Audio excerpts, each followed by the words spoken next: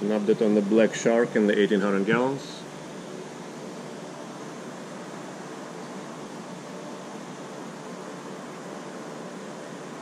It's been doing okay. Doesn't seem to bother anybody. It got transferred here, um, I want to say maybe close to a year ago. Definitely about 8 or 10 months.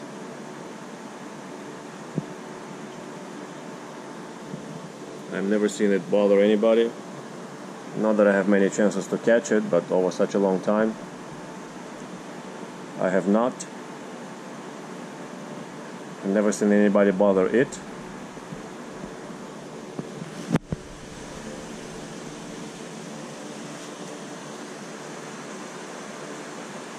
The only thing is that it's it's not growing. It's pretty much stuck at uh, foot and a half or so.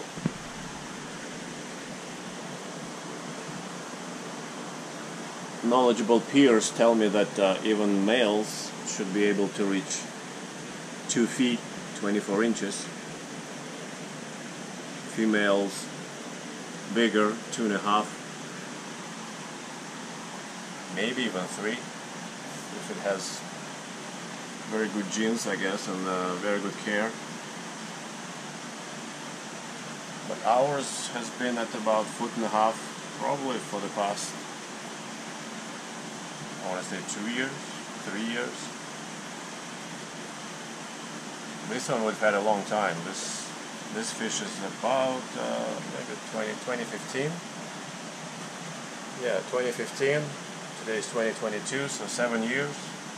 So this fish is probably seven and a half, eight years. And still foot and a half.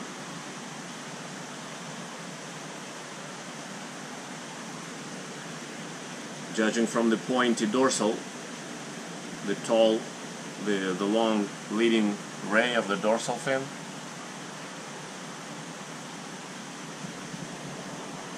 that's probably a male and judging from the growth and the size as well. This is our only black shark.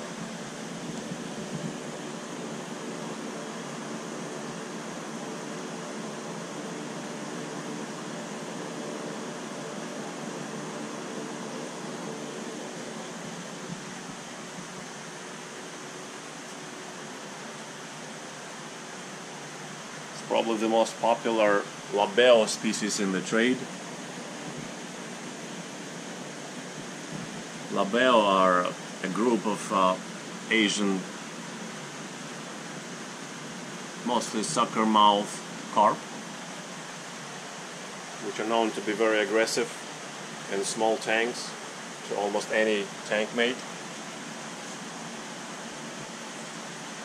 So if you're buying a fish and you see labeo on the name, you better do your homework before you combine that fish or put it in your community tank. You better know what you're doing, do some homework, read up on it. Because in communities, labeo almost equals to trouble. Labeo from Latin means lip or lips. In reference to their big fleshy lips that form their uh, sucker mouth apparatus. They're great grazers and great cleaners.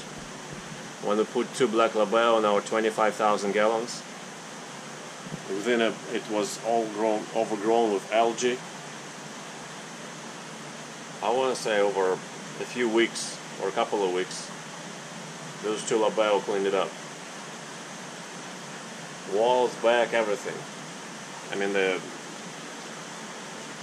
the 45 foot window in the tank we, we wipe of course, but I don't wipe anything else, and anything else had a lot of algae on it.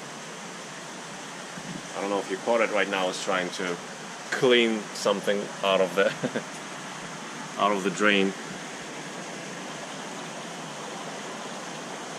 The drain screen.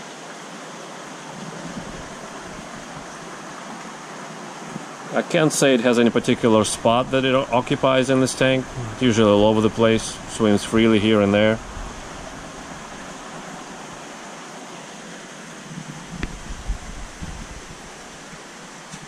Once in a while I see a little bit of tatter in its fins, so it's uh, it definitely has some skirmishes or some figuring out between other fish, probably the pecking order.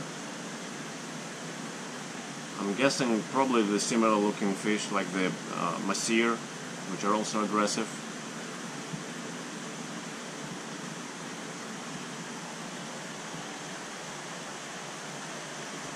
In a small tank it would be a nightmare.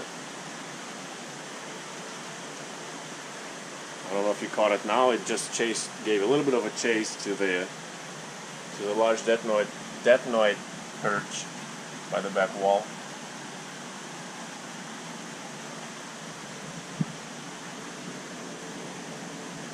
Tasting the rock, tasting the screen, tasting the datnoid perch,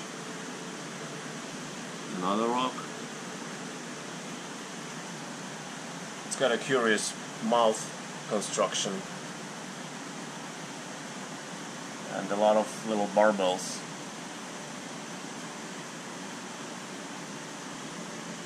And kind of long fibers on the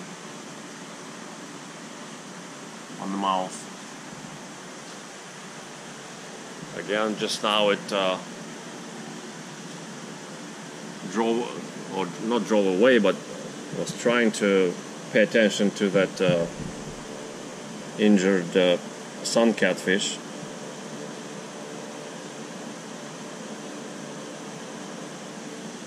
Anytime it turns over or turns on its side and approaches another fish and puts its mouth on it, that's that's aggression. Either either it tries to rasp the slime, or it tries to drive that fish away. See how it's, she's, she's just done it to the lima shovel nose. Nothing bad or nothing violent or nothing excessive, just a, a little nudge, a little place placing of the mouth and the other fish swims away or gives way. They don't want to pick a fight with, with the black shark, which is understandable. If I live in that tank, I wouldn't want to pick a fight with it either. Thank goodness I don't live in that tank.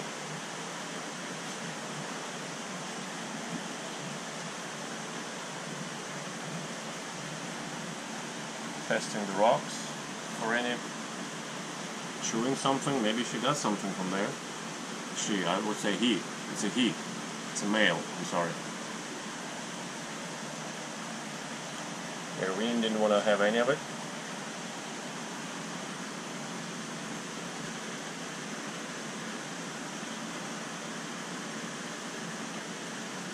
Cleaning the bottom a little bit. Maybe there's something there. Chewing it.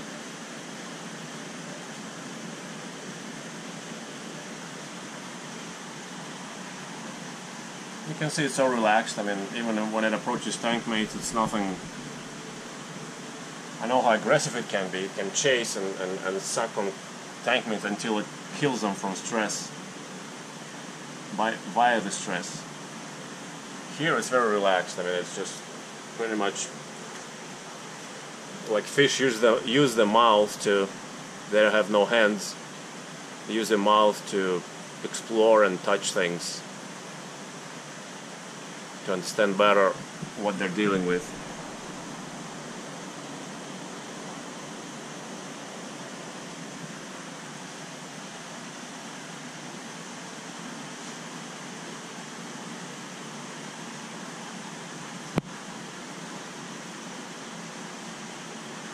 Again, the perch.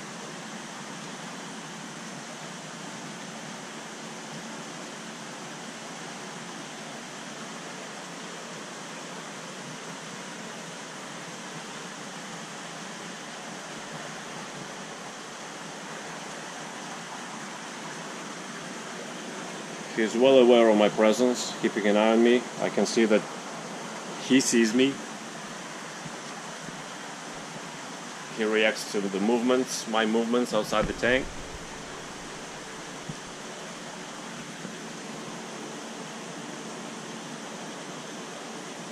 Again, a little sucking on the rock over there. Just to make sure I'm not missing anything, right?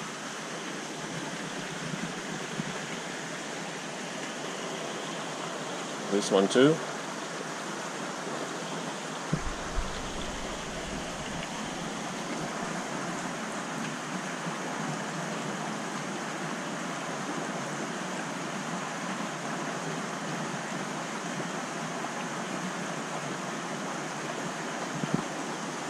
So people that keep black shark in small tanks, they can tell the difference.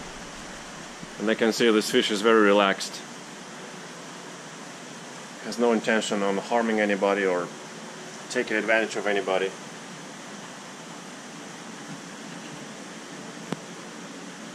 Which is pretty much the norm for a black shark in a small tank with tank mates.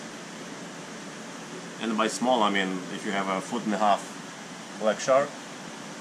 A small tank for it would be 300 gallon, 500 gallon, in that range. I'm not talking about 50 gallon. And 50 gallon is a foot and a half black shark would be a psycho killer. I, I, I cannot be 100% sure, but I don't think you can keep any fish with black shark in 50 gallons if a black shark is one foot or over. But I may be wrong.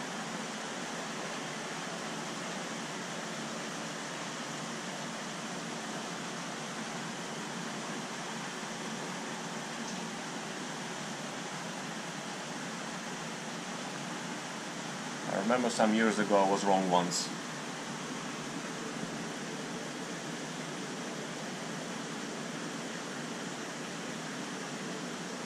That's self-deprecation, if it wasn't clear.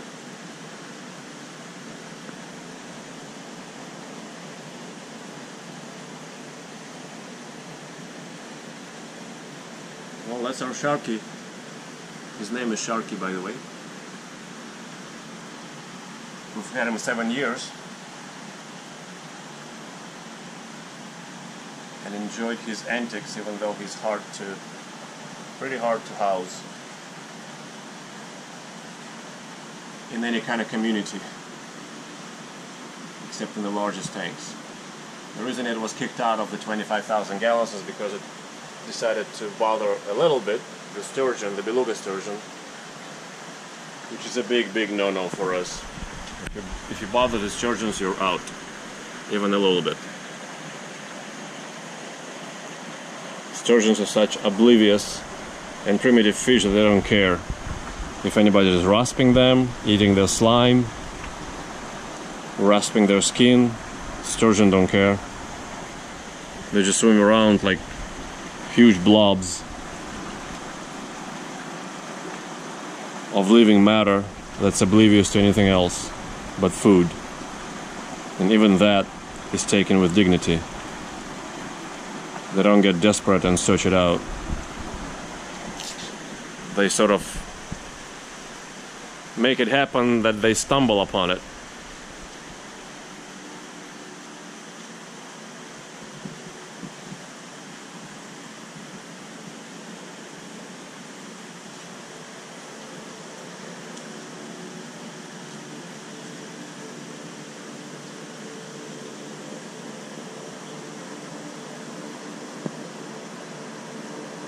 Our Thank you for watching.